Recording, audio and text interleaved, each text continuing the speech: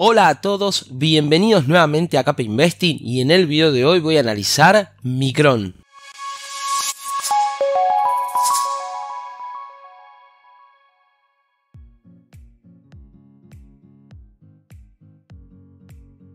Hola inversores, mi nombre es Claudio y hoy es el turno de Micron Technology, una empresa, por si no la conocías, dedicada a la fabricación de memorias y almacenamiento.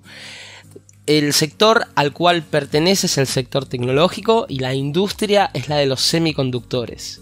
Anteriormente hice el análisis de Intel, te dejo por acá arriba el link al video y también en los comentarios. ¿Para qué? Para que al final de este análisis puedas ver el de Intel y puedas comparar ambas empresas y sacar tus propias conclusiones.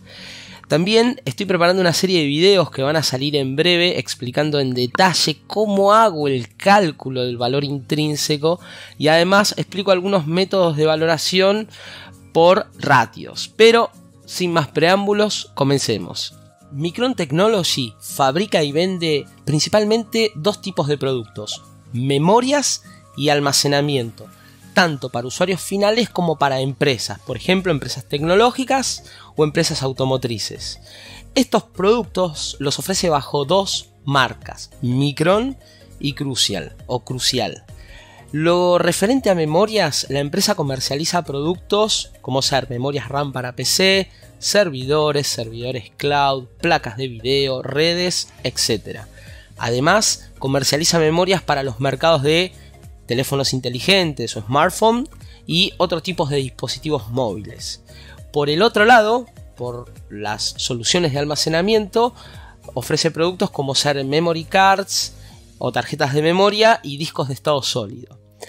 Aquí yo les estoy mostrando ahora, esto es la presentación de balance que hizo hace unos días. Micron opera sobre cuatro segmentos de mercado, son los que pueden ver acá. El primer segmento es el de eh, Compute and Networking, o lo que sería cómputo y redes, cuyo eh, tercer Q de 2022 obtuvo ingresos por casi 4 billones de dólares. El segundo segmento es el de mobile, tuvo ingresos por casi 2 billones de dólares. El tercer segmento, el de almacenamiento o storage, tuvo ingresos por 1,3 billones de dólares. Y el último segmento, el de integrados o embebidos, tuvo ingresos por 1,4 billones de dólares. Pueden ver que los ingresos con respecto al trimestre anterior han ido creciendo en todos sus segmentos con un cambio en porcentaje eh, QAQ de un 13%, un 5%, un 15% y un 12%. Pero bien, ahora vamos a pasar a ver, analizar un poco el balance y vamos a analizar también algunos ratios financieros. El 30 de junio de 2022, Micron Technology presentó su balance correspondiente al tercer trimestre de 2022. Ya vimos un poco por segmento cómo fueron los ingresos. Vamos a darle una mirada más a ver qué pasó en este Q y el por qué luego de presentar este balance eh, el precio de la acción cayó, corrigió un 5%. O sea, eh, vamos a ver las expectativas futuras para el próximo Q, como también ver algunas, algunos números de esta presentación actual para encontrar el motivo de por qué esa caída, ¿no? Eh, fíjense que las ventas fueron de 8,64 billones contra 7,79 billones de el Q anterior. voy a analizar lo que es GAP únicamente para hacer un poco no tan extenso este video. Fíjense que las ventas eh, han ido aumentando trimestre a trimestre, lo mismo que lo que es su margen bruto, que fue de 4 billones para este periodo. Eh, los gastos operativos se han mantenido bastante constantes, hasta han bajado, podemos decir algunos, algunos millones de dólares. También sus ingresos por sus operaciones han ido en aumento. Fíjense que lo que es eh, Q3 2021, es decir, compara el mismo trimestre pero del año anterior, también que ha sido un poco eh, eh, distinto ¿no? para las operaciones de esta empresa en pandemia, pero ha tenido un crecimiento casi de un 100%. lo mismo sus ingresos netos se los ve muy bien y lo que son eh, beneficios por acción diluidos han estado también en aumento y con respecto a lo que es Q2 2022 y al mismo periodo año 2021 muy bien así que por aquí no hay ningún problema ¿qué pasa con las estimaciones futuras? bien las tenemos acá esto es muy importante para que dentro de tres meses nosotros podamos comparar. Micron dice que sus ventas van a ser de 7,2 billones más menos 400 millones. Entonces, si veo este, eh, este Q, es decir, el próximo trimestre, veo que sus ventas estiman que van a ser menores que el Q que viene. Y digamos, para una empresa siempre se esperaría que eso sea al revés, que sus ganancias trimestre a trimestre vayan aumentando. ¿sí? Lo mismo podemos comparar su, su margen bruto que va actualmente está en un 46% y aquí planea estar en un 41,5% y lo que son beneficios por acción diluidos que, que estima ser para el Q4 de 1,52 actualmente es de 2,34. Es decir, que lo que ha hecho Micron es bajar un poco las expectativas futuras. Vamos a ver esto ahora un poco más en detalle. Aquí les estoy mostrando el Market Outlook de lo que sería el transcript, es decir, cuando los directivos de Micron salen a anunciar todo lo que es balances y muestran los números, también comentan estas cosas que no están quizás dentro del balance o no se pueden encontrar de la manera en la cual ellos la transmiten, es decir, lo hacen durante un speech. Entonces lo que están viendo acá, básicamente ellos dicen que cerca del final del tercer trimestre vieron una reducción significativa en la demanda de eh, en la demanda de productos a corto plazo, principalmente atribuible a los mercados de consumo, incluidos PC y teléfonos inteligentes.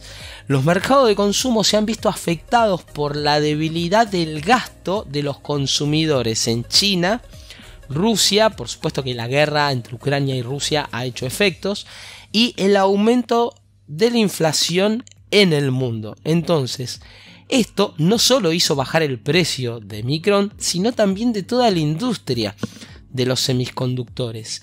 Y aquí también les estoy presentando la noticia que salió días después en Infobae, que dice que las acciones de los fabricantes de chips son golpeadas por las señales de menor demanda.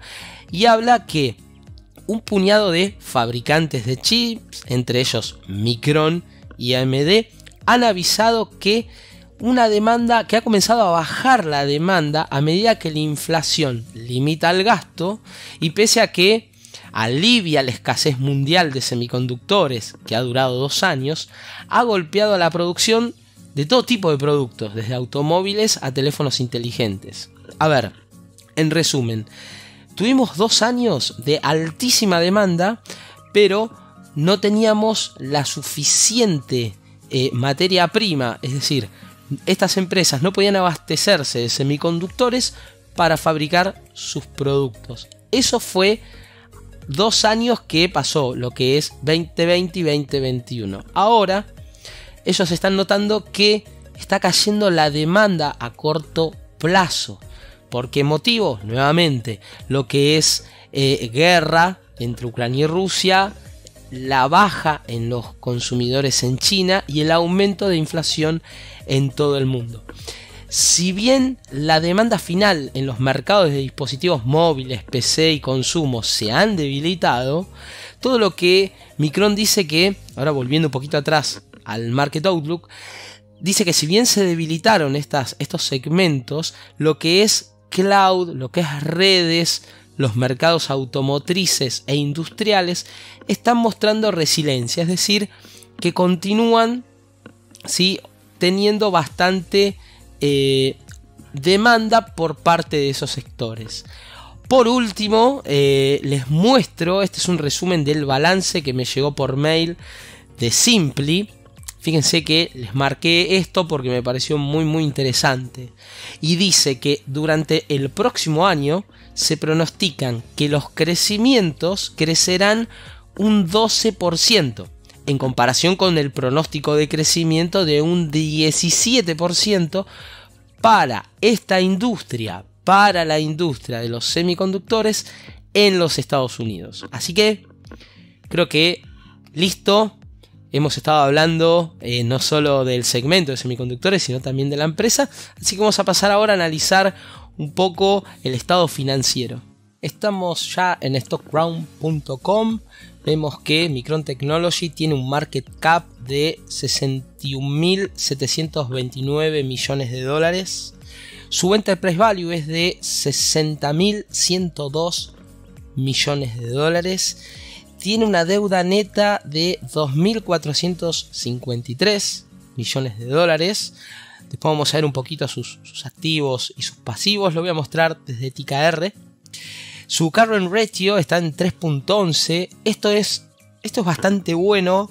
Aunque me parece que está un poquito elevado. ¿no? Current ratio es un ratio de eh, liquidez que indica, bueno, si la empresa puede afrontar sus gastos o no, ¿sí? Está en 3,11. ¿Por qué no está bueno que esté eh, tan tan elevado? Porque quizás tiene inmovilizado un montón de activos, que puede ser por ejemplo cash, sin ser utilizados. Pero bien, voy a bajar un segundito acá para mostrar sus activos y sus pasivos, pero estos son corrientes. ¿Qué significa? Corresponden al último año. Y pueden ver que en 2022 tuvo activos por casi 20 billones de dólares y sus pasivos fueron de 6,4 billones. Es decir, que sus activos están muy muy por encima de sus pasivos.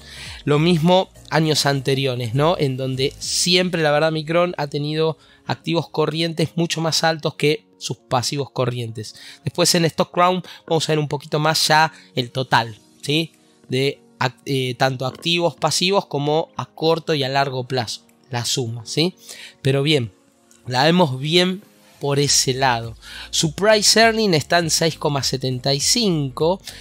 Eh, price to sales, no voy a usar este ratio, lo miro, está en 1,93, pero para este video no lo vamos a ver. Recuerden que este video no intento eh, indicar o, señalar alguna oportunidad de compra y de venta, es solo un análisis a modo educativo. ¿sí?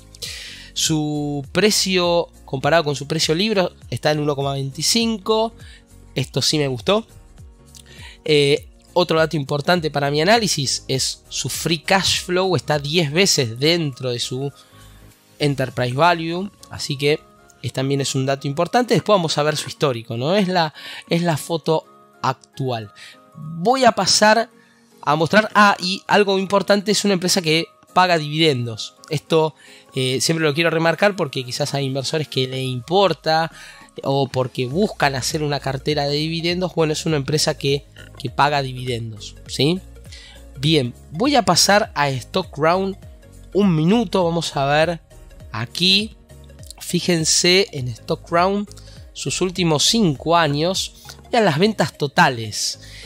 Eh, miren algo, algo un, detalle importante que encontré. Fíjense que en 2021 fueron de 27 billones.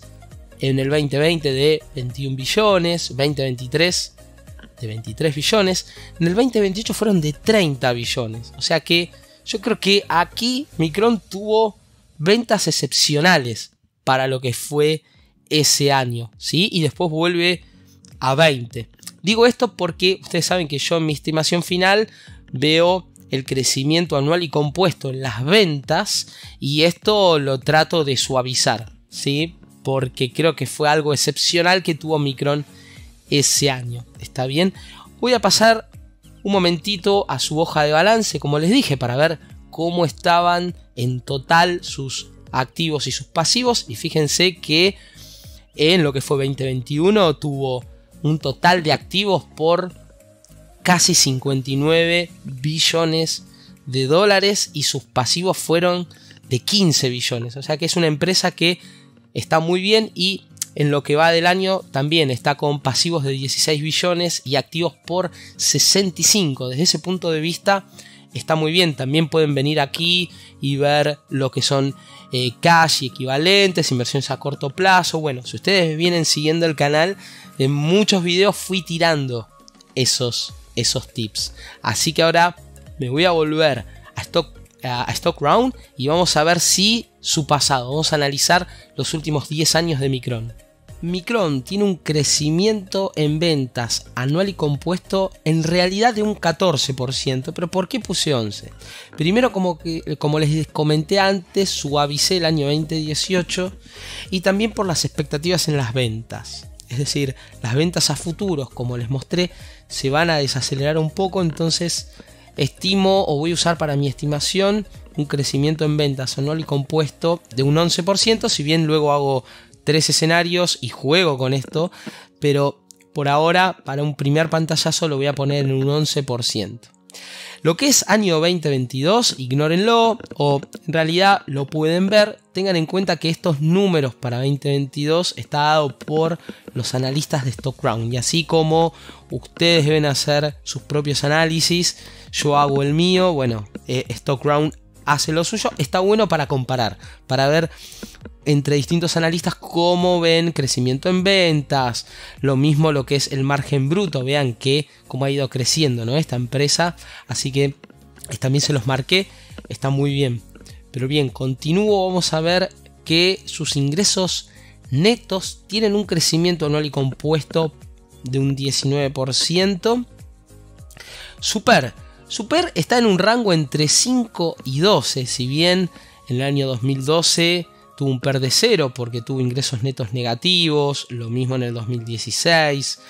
Eh, más o menos entre 5 y 12 me parece que es un rango interesante porque aparte sus, sus, competidores, podemos decir, o en realidad las empresas dentro del mismo segmento, tienen ese rango eh, de PER entre 5 y pueden, si quieren, pueden irse hasta 15. Yo eh, lo voy a hacer entre 5 y 12, ¿sí? Su price book lo veo bastante bien y nunca... Eh, a ver, su precio a precio libros... Eh, Warren Buffett dice que tiene que estar de 1.4 hacia abajo. Eso es más que nada para empresas financieras. Pero este, este ratio, y lo van a ver en futuros videos, cuando saque esta serie de 4 videos explicando cómo valorar y, y explicando estos ratios, van a poder ver que eh, en este tipo de empresas, ese segmento, es un ratio que se puede llegar a considerar. ¿sí? Y hasta podríamos llegar a valorarla por este ratio. Pero bien, voy a avanzar para no hacer el video tan tan extenso. Su free cash flow sobre sus ventas. Hoy voy a valorar esta empresa utilizando flujo de caja libre. Y veo que su flujo de caja libre en promedio está 20 veces dentro de su valor empresarial. Si bien hay años que el 2016 ha sido negativo, o miren lo que es 2020, también he ido a ver empresas dentro del mismo segmento y tienen aproximadamente ese free cash flow. Creo que esto es una opinión mía, la empresa de los semiconductores por delante tiene un camino larguísimo para recorrer. ¿Por qué? Porque los autos van a ser eléctricos, porque los autos van a ser autónomos y eso va a requerir que tengan más procesadores, más memorias, más almacenamiento. Y, fíjense que estoy, que estoy hablando solo del segmento automotriz, no estoy hablando de dispositivos móviles o incluso televisores smart, eh, bueno, eh, no me quiero ir muchísimo por las ramas, pero si investigan el segmento tiene un crecimiento creo que de acá a 10 años muy muy bueno. Esperemos que todo esto que es guerra se resuelva pronto, inflación, esperemos que no entremos en una larga recesión. Todo ese, ese contexto también lo tenemos que evaluar. Pero estoy evaluando la empresa, ¿sí? Y ahora sus ratios fundamentales. Continúo. Veamos ahora lo que es eh, acciones. Tiene en circulación 1120 millones de acciones, un número que no lo ha ido incrementando de manera eh, eh, exponencial, sino que ha estado de a poco emitiendo. StockRound planea, parece que sí, que saque unas 200 millones más de acciones a circulación. Bueno, veremos qué pasa. Eh, Fíjense, este dato me gustó, este es su cash flow, es decir, todo el efectivo que entra por sus operaciones, es decir, por la venta de sus productos, eh, de sus memorias, de su almacenamiento, y tiene un crecimiento anual y compuesto de un 20%. Muy positivo para mí en esta empresa, en este segmento. También pueden ver su CAPEX y pueden comparar, por ejemplo, eh, tanto su flujo de caja libre, sus ventas, su, flujo de caja o su cash flow debido a sus operaciones y vean que es una empresa que en los últimos años, desde 2018 a 2021, no ha aumentado muchísimo sus, gastos en producción, en plantas, pero su cash flow, su, operating cash flow ha crecido un 20%, también sus ventas. Entonces es una empresa que notamos que está consolidada y que, eh, a ver, es una empresa que vimos que no estaba muy endeudado tampoco, es decir, que no, no creo que tenga a futuro problemas de liquidez y que tampoco se esté endeudando mucho, así que desde este punto la veo bastante bien. Su flujo de caja libre tiene un crecimiento anual y compuesto de un 8%. Creo que aquí la estimación de Stock Round es em, muy, muy optimista. Pero bueno, eh, yo no, no la haría y ahora van a ver que no, no le puse tanto. Casi es el doble, así que bien. Eh, el total de la deuda también eh, no ha estado tomando muchísima deuda esta empresa. Por algunos años sí, por otras no. Pero como vimos y como pueden ver en TKR, la verdad es que siempre sus activos han pasado casi eh, tres veces su, sus pasivos. Por eso no, el carbon ratio que vimos al comienzo del análisis en Stock Round. Y por último, su ROA y su ROE los veo bien. Siempre eh, su ROE debería ser mayor a su ROA y en algún videito ya lo voy a explicar. Quédense tranquilos. Por último, dato muy importante para hacer mi cálculo de valor intrínseco es sus ventas dentro de su free cash flow. Es decir, que tiene un crecimiento de un 11%. Su free cash flow sobre sus ventas. Este sería su porcentaje de rentabilidad, como ustedes ven en el Excel. O sea, de sus ventas totales, el 11% le queda como dinero de libre disponibilidad. Así que vamos a hacer el resumen de Micron y podemos ver que la empresa tiene en circulación 1.120 millones de acciones. Su deuda neta es de 2,5 billones de dólares. Sus ventas el último año fueron de 27.000 o mejor dicho, vamos a hacerlo más fácil. Sus ventas el último año fueron de 27,7 billones de dólares. Su rentabilidad, que recién se los mostré, dispuse de un 11%. Fíjense que se las dejé en un 8%. ¿Por qué? Por los que les comenté, por esta desaceleración, eh, por este contexto mundial, por inflación, por China, por, Grecia, eh, por Rusia y Ucrania. Bueno, por esos factores preferí ser un poquito más conservador y poner que la rentabilidad de la empresa a 10 años va a ser de un 8%. Su crecimiento en ventas en un 11%, como ya les conté, y su flujo de caja libre dentro de su enterprise value va a estar 20 veces. Este, esto sí que no lo quise tocar, lo dejé así. Y finalmente llegamos al cálculo del valor intrínseco para Micron, al canal fundamental, antes de continuar, si te viene gustando el contenido de este video y del canal, te invito a darle like, a suscribirte al canal y activar la campanita para recibir notificaciones cada vez que suba nuevo video. El video de hoy voy a hacer la estimación del precio objetivo de compra utilizando el método de descuento de flujo de caja libre. Voy a utilizar el porcentaje de rentabilidad, crecimiento en ventas, free cash flow. Bien, esto que ustedes ya lo ven aquí realizado, voy a hacer una serie de cuatro videos en donde voy a agarrar Google Sheet y voy a explicar cómo hago este método de descuento de flujo de caja libre. Voy a explicar cómo trazo el canal fundamental por PER. Videos de 15-20 minutos y van a ver cómo yo hago estas estimaciones. está bien porque ya me lo han preguntado bastante y me parece que es momento ya de poder tirarle ese contenido. Así que lo estoy preparando y calculo que en 15-20 días ya sale. Así que ahora sí, vamos con las tres estimaciones. Una estimación conservadora en donde sus ventas van a crecer de aquí a 5 años un 8% luego van a crecer un 9%, esperamos que haya pasado todo lo que ya hablamos antes de este contexto mundial. Su rentabilidad de flujo de caja libre será de un 6%, me da un precio de 32 dólares con 87 centavos. Le aplico un margen de seguridad de un 5% y obtengo un precio objetivo de 31,23. Un poquito por debajo ¿no? de la cotización actual que está en 53 dólares con 65 centavos. Bien, vamos a la segunda estimación, la estimación media, ya tenemos un crecimiento en ventas de aquí a 5 años de un 9%, luego crecerá a un 10%, su rentabilidad de flujo de caja libre será de un 7%, esto me da un precio objetivo de 42 dólares con 70 centavos. Aplico un margen de seguridad y me da un precio objetivo de compra de 40 dólares con 57 centavos. Y por último, la estimación más optimista, un crecimiento en ventas de aquí a 5 años de un 10%, luego sí ya queda en un crecimiento de un 11%. Su rentabilidad de flujo de caja libre eh, va, a ser en esta estimación de un 8%, me da un precio objetivo de 53 dólares.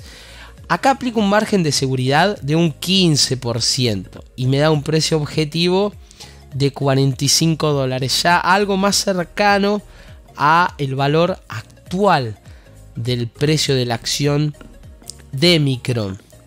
Bien, recuerden el contexto en el cual estamos viviendo, guerra, inflación, posible recesión, todos estos parámetros van a afectar a todas las industrias, no solo a la de semiconductores, sino que se van a vender menos celulares, menos autos, todo se va a vender menos y con la inflación los costos suben.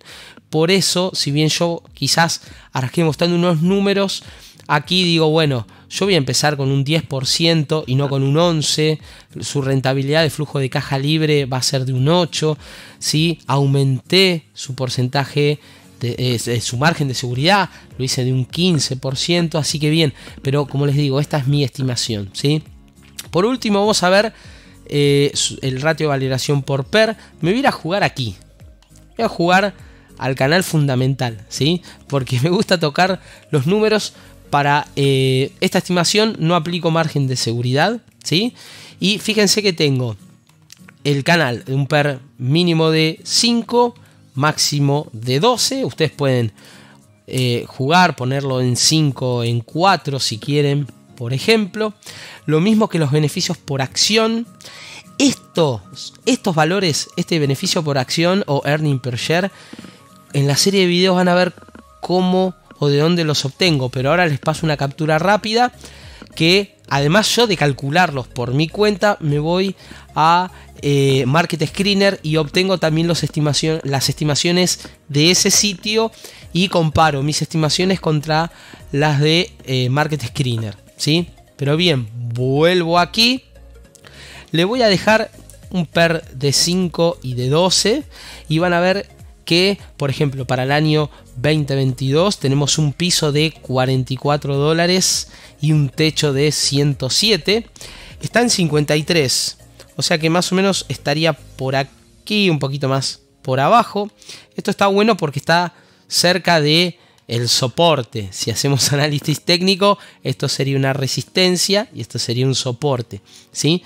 Pero bien, si quieren le podemos poner inclusive un PER de 4 y vemos que está en 35,88. Eh, para el año ya 2022 estarán 45,60. Para el año 2024 53,60. Es decir, que actualmente un precio de 53 dólares estaría por aquí. ¿sí? Mm, ¿Es oportunidad de compra? Bien, yo no doy recomendaciones de compra, pero creo que por debajo de 50 dólares en los 148 para mí es un precio atractivo. Tengan en cuenta que yo soy inversor a largo plazo. Yo compro y miro cómo va evolucionando. Aplico un margen de seguridad, pero eh, digamos, comparando con, otras empresas que analizando en el canal, algunos están quizás por acá arriba y bueno, no, es, no, está muy bueno, ¿sí? Eh, para eh, para la empresa, digamos, le voy a cambiar, le voy a poner mejor un PER de 10. Vamos a aplicarle un margen de seguridad al PER y vemos que para 2022 el precio objetivo sería de 89,70. Para el año 2023 de 114. Eh, para el año 2024 de 134. Yo hasta sería todavía más conservador realmente. Eh, no pondría un PER por lo menos para este año 2022 y 2023 de 10 y miría incluso hasta 8 o sí, 7 me parece por ahí que ya me fui demasiado abajo. Pero bueno, eh, la verdad que hay que ver muy muy de cerca qué pasa, como ya lo repetí varias veces en este video con el tema de la inflación si los gobiernos en el mundo la pueden controlar. En España es de casi un 10%, en Estados Unidos un 8%. Entonces eh, hay que ver qué pasa si la economía se empieza a enfriar y empieza a caer el consumo. ¿Qué pasa con el desempleo? Pero bien, inversores, esto ha sido todo por hoy. Si te gustó nuevamente este análisis, te invito a darle like, a suscribirte al canal y activar las notificaciones para recibir un mensaje o una alerta cada vez que suba un nuevo contenido. Inversores, nuevamente muchísimas gracias y nos vemos en un próximo video.